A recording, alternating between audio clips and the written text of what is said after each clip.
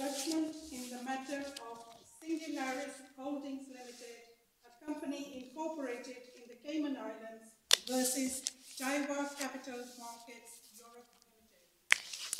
Normally, banks have a duty to act promptly upon their customers' instructions to make payments from their accounts.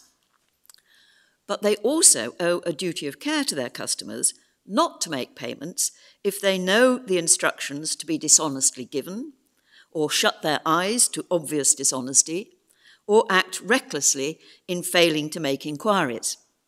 This is known as the Quincecare duty of care, following the 1992 case in which the duty was identified. In this case, the bank's customer was a company, Singularis, set up to manage the personal assets of Mr. Maan Al Sanea. He was the sole shareholder, a director, and the chairman, president, and treasurer. There were six other directors, but they did not exercise any influence over the management of the company.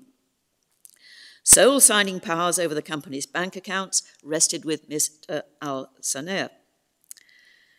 In 2007, the Appellant Investment Bank, Daiwa, provided Singularis with a loan to finance the purchase of shares. The shares were the security for the repayment of the loan. In 2009, the shares were sold. The loan was repaid, and Daiwa held a cash surplus of over 200 million US dollars for the account of Singularis. By that time, Singularis, having had a legitimate business, was in financial difficulties. Mr. Al Sanea instructed Daiwa to pay out those funds to entities with which he was associated in the Saad group. The payments were a misappropriation of Singularis's funds and left Singularis unable to meet the demands of its creditors. The judge held that this was a clear breach of the Quincecare duty of care to the company.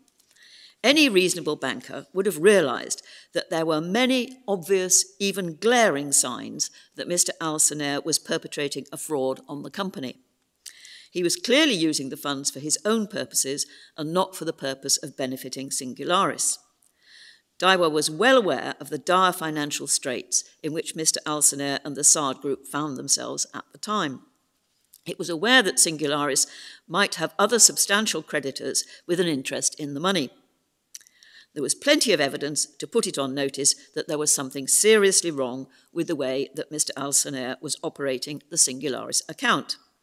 In short, quote, everyone recognized that the account needed to be closely monitored, but no one in fact exercised care or caution or monitored the account themselves, and no one checked that anyone else was actually doing any exercising or monitoring either. End quote.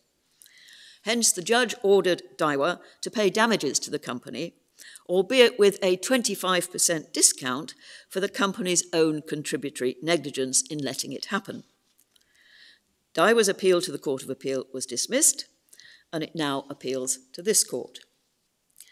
The argument is that Mr. Al Sanea was the controlling mind of the company, and so his fraud should be attributed to the company. If it is attributed to the company, Daiwa argues that it would have various defences to the company's Quincecare claim. The first defence they suggest, it is suggested, is illegality, that Mr. Al Sanea's provision of false documents in relation to the payments and his breach of fiduciary duty towards the company. However, as the judge found, Fiduciary duties are intended to protect a company from becoming the victim of the wrongful exercise of power by the company's officers. That purpose would not be enhanced by preventing the company's recovery of the money wrongfully removed from its account. So the illegality defense was unpromising. The second defense suggested was that the company's loss was caused by its own fault and not by that of the bank. However, the purpose of the Quincecare duty is to protect the bank's customers from harm caused by people for whom the customer is responsible. The fraudulent instruction to Daiwa gave rise to the duty of care, which Daiwa breached, thus causing the loss. So that defense is also unpromising. The third defense suggested was that Daiwa would have a countervailing claim in fraud against the company, which would cancel out the company's loss. However, the judge held that Daiwa's breach of duty and not Mr. Al Sanea's misrepresentations was the cause of Daiwa's exposure to the claim for Singularis's loss. So that too uh, was not promising. It follows that none of these suggested defences was promising, even if the court were to hold that Mr. Al Sanea's fraud was to be attributed to the company. But in any event, it could not be. The basic principle is that a properly incorporated company has an identity and legal personality separate from that of its shareholders and directors.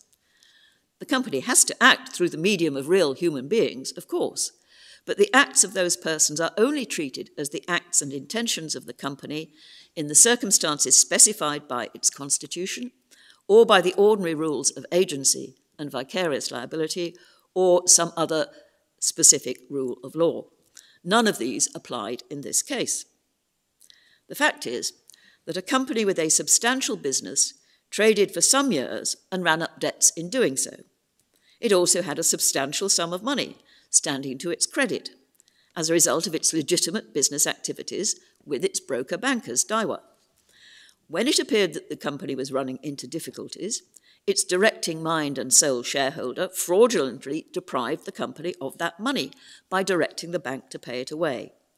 The bank should have realized that something suspicious was going on and suspended payment until it had made reasonable inquiries to satisfy itself that the payments were properly to be made. The company and through the company its creditors, has been the victim of the bank's negligence. Hence, the Supreme Court unanimously dismisses the bank's appeal. As counsel for the company put it, this case is bristling with simplicity. The court will now adjourn.